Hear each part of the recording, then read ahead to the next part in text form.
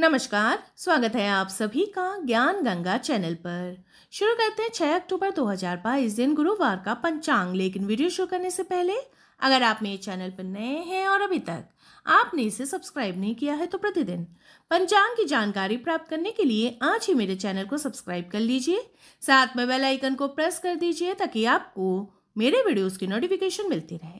Video अच्छा लगे तो उसे लाइक और शेयर करना बिल्कुल मत भूलिए। तो चलिए शुरू करते हैं। 6 अक्टूबर का पंचांग। दिनांक है 6 अक्टूबर 2022 दिन है गुरुवार सक संवत उन्नीस सौ चौवालीस, विक्रम संवत दो हज़ार उन्यासी। कलयुग का वर्ष है पाँच हज़ार एक सौ तेईस। माह है अश्विन, दृक ऋतु है शरद और दृकायन है दक्षिणायन।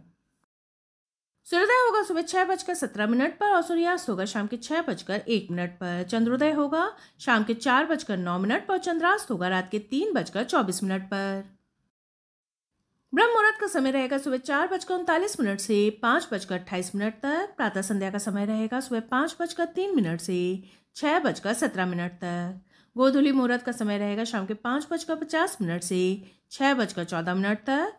साय संध्या का समय रहेगा शाम के छः बजकर एक मिनट से सात बजकर पंद्रह मिनट तक। निशिता मुहूर्त का समय रहेगा रात के ग्यारह बजकर पैंतालीस मिनट से बारह बजकर चौंतीस मिनट तक। पक्ष है, शुक्ल तिथि है, एकादशी, जो सुबह नौ बजकर चालीस मिनट तक रहेगी, उसके बाद द्वादशी तिथि आरंभ हो जाएगी।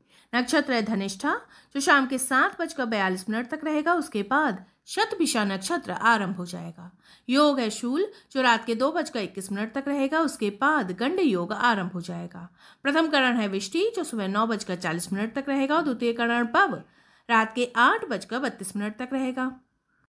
चंद्रमा रहेंगे मकर राशि में, सुबह आठ बजकर अट्ठाईस मिनट तक, उसके बाद कुंभ राशि में चले जाएँगे। सूर्य रहेंगे कन्या राशि में, सूर्य नक्षत्र रहेगा हस्त।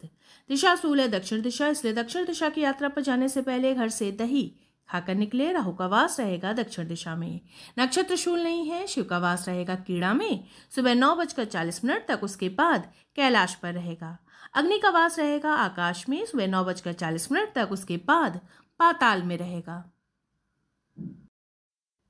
शुभ मुहूर्त, इस प्रकार रहेंगे अभिजीत। मुहूर्त का समय रहेगा सुबह ग्यारह बजकर पैंतालीस मिनट से बारह बजकर बत्तीस मिनट तक।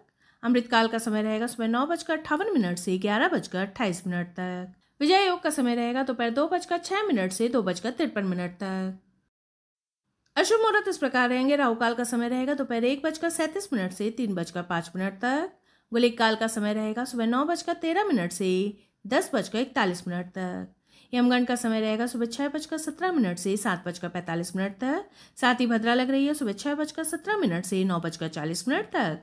और पंचक लग रहा है सुबह आठ बजकर अट्ठाईस मिनट से सात अक्टूबर की सुबह छः बजकर सत्रह मिनट तक। छह अक्टूबर को है पापानुगुंशा एकादशी और पद्मनाभ द्वादशी। तो ये थी जानकारी छह अक्टूबर के पंचांग की। मेरे वीडियो में अंत तक बने रहने के लिए आपका बहुत बहुत धन्यवाद। फिर मिलेंगे किसी नए वीडियो के साथ।